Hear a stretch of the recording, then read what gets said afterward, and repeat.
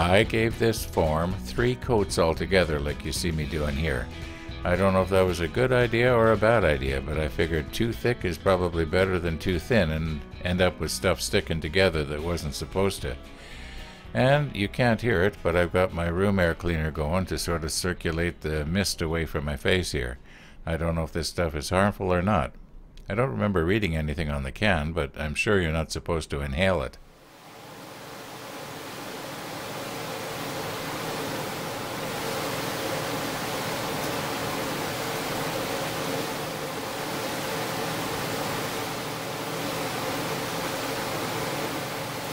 Okay, I think that's about it. Maybe even a tiny bit too much. Oh, probably wondering why have I got a string on the end of this? Well, I'll show you. Because I want to use that little scoop again. I want to get as much out of it as I can. And this is the only way I could think of doing it. Now, I've already weighed this little container, and it weighs 33.2 grams. So I'll just subtract that from whatever this weighs now.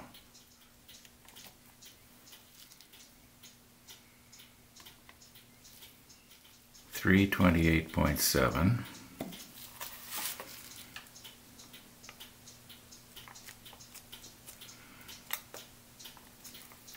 minus thirty-three point two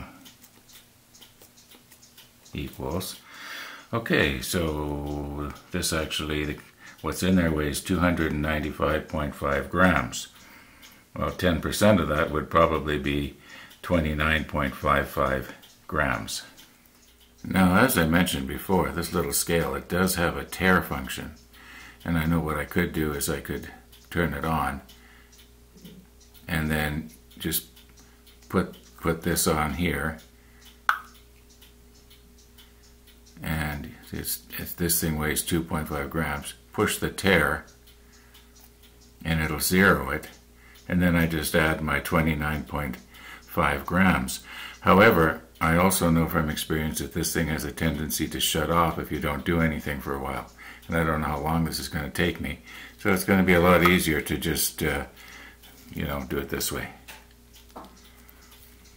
Okay, we're going to bring it up to 32 grams. And I'm going to try not to make a mess. This may not pour too well. Maybe what I should do is put a little little cloth under here. See what happens.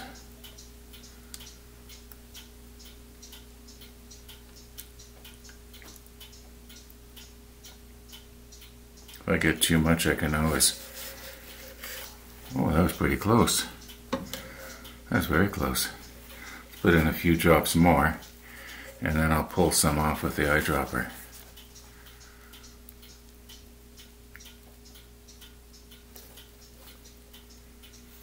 Okay, so if I take off four tenths of a gram, it should be perfect. Makes sense to me.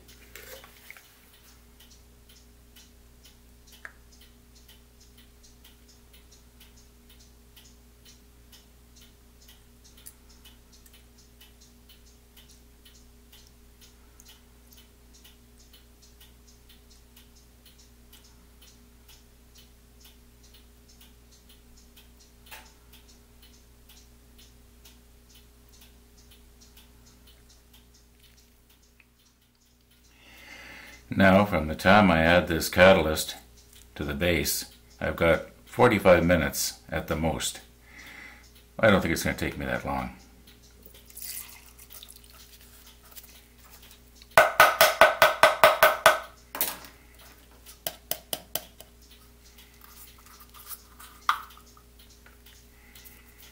And I'm going to thoroughly stir for at least five minutes. So I may as well shut the camera off here. Okay, got a little over five minutes now. And uh, I uh, did a fairly good job. Made sure that I did it the way you're supposed to, you know, scrape the sides and the bottom and scrape off the stick periodically.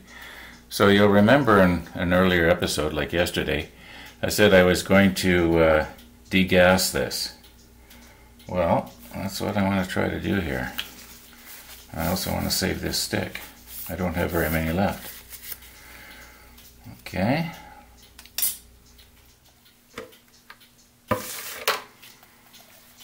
Now because I realize that there's a chance that this is going to foam up and run over, I'm going to put it in the ice cream pail here.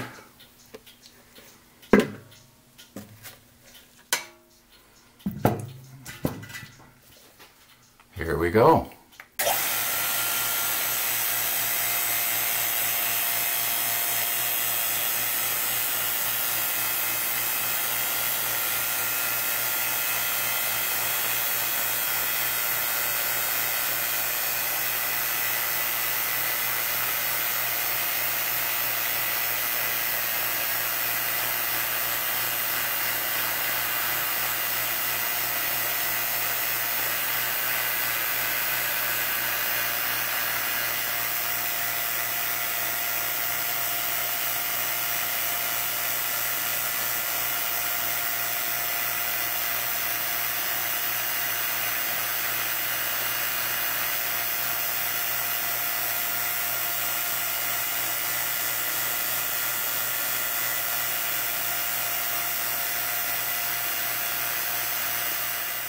I realize that in past series, if you watch them, I've explained this to death, but just in case you happen to be a first-time viewer here, and you wonder how come so much air is coming out of there, well, actually what happened was when I was stirring it, I folded in a lot of little tiny micro bubbles, and when we get down to near perfect vacuum, those micro bubbles have maybe uh, changed in volume up to, oh, a thousand times, who knows, maybe more. So what's happening is they're expanding, floating to the surface, sort of frothing it up.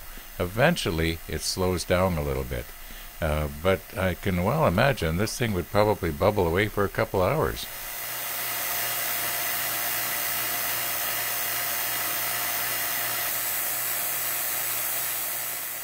The vacuum pump has been running for just over four minutes now, and I do realize that leaving it run longer would make it better, but just marginally better. It's probably about 99% as good as it could possibly get. Now that's my uneducated, unprofessional opinion, but I think it's 99% as good as it's going to get. Well, I do realize that there were still little bubbles coming out, but I think for the most part we got it.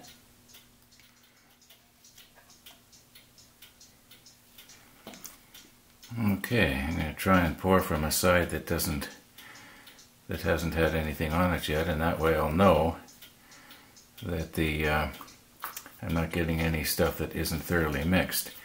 And this side right here is, oh, there's stuff there too. Let's find another one. No, that's not too bad. Okay. All right, here we go.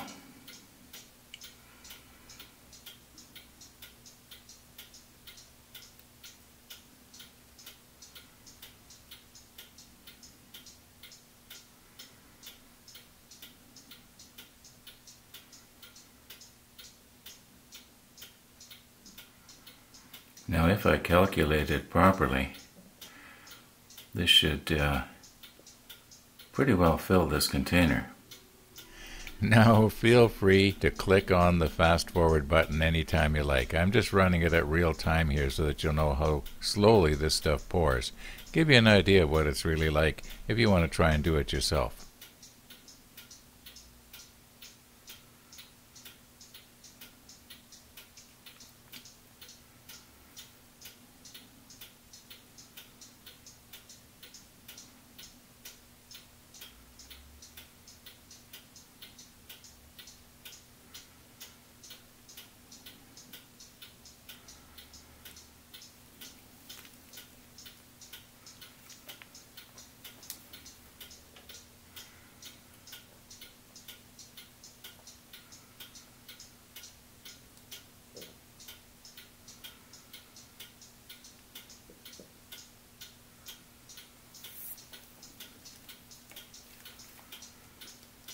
may as well fill it up because all that's going to happen with what's left in this is just going to get thrown out. So the more heavy duty my mold is, at least this is my thinking,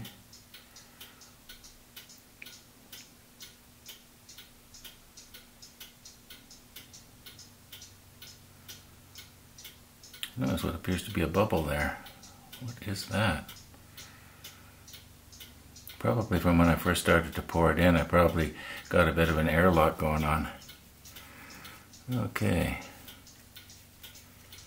Well, I hope any airlocks I got are going to work their way to the top.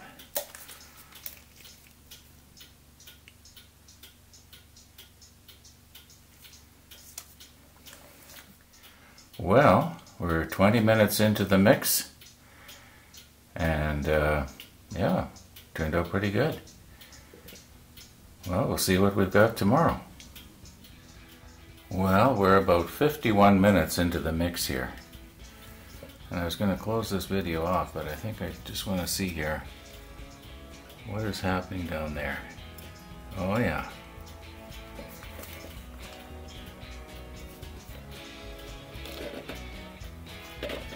Yeah, it's stiffening up pretty good.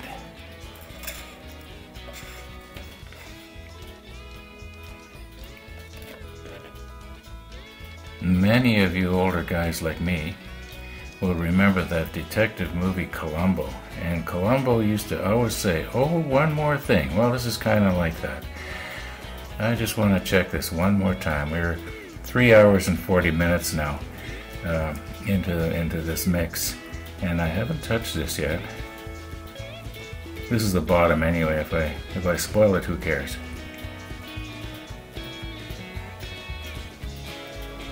Oh yeah. And one more thing I want to show you. Remember my little scoop? Well, most of it dripped out. And I will be able to reuse this again. Now we're done. We'll see you tomorrow for the demolding. Thanks for watching. You too, Jackson.